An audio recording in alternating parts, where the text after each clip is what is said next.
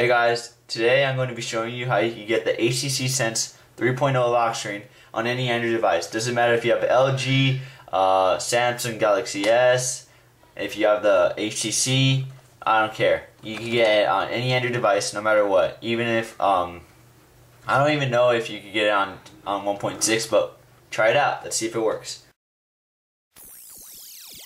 Kane is in the building.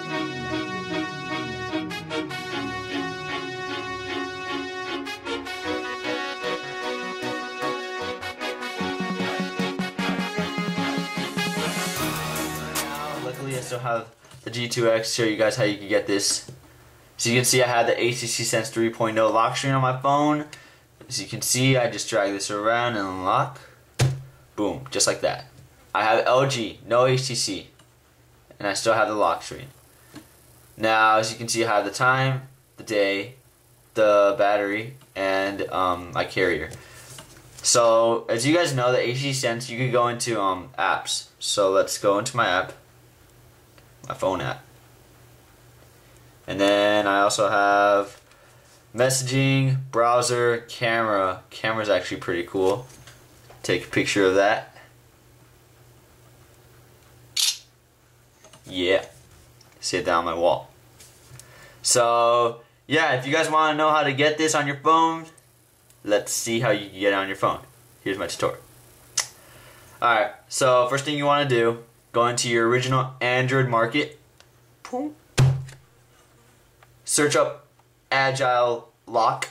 Once you search that up, you should come up with this. Three apps. Three apps only. Um, if you want the free version, it's right there. You can install that, open it up, boom, just like that. And if you want to get the full version, go into the link in the description. I'll have it right there. Once you click on the browser, once you click on the link in the description, you're going to pop up with this thing right there. And it should it should go all the way down to zero. Once it goes down to all the way to zero, just click it, click install, tap done, there. And it actually looks pretty sick. So here it is. Go back. Uh, yeah. But as you can see, they want you to get points. I know those apps stink, guys, and especially this one because if you want, if you want to earn points to unlock the settings, you actually have to download apps, but they're all um, in foreign language, so I can't even read them, and they don't even have a picture next to them. All they have that I can read is that hundred right there. So you can't change the settings, kind of sucks. But other than that, if you want the HTC Sense 3.0 lock screen on your phone but can't get it, dang it, this is the way to go. Woo!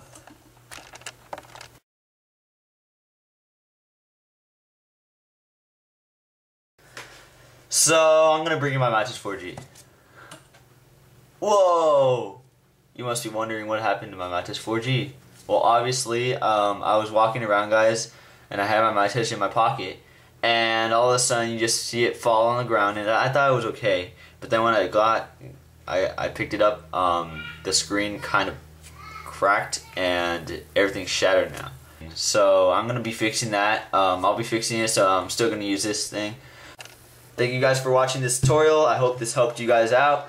Um, if you guys like this video, rate it a thumbs up. I will be fixing my MyTouch 4G um, uh, because I just bought the parts today and they're going to be shipping in I'm going to fix it.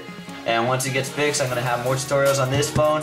But right now, I'm going to be looking into this one. Yeah. So, please subscribe, guys.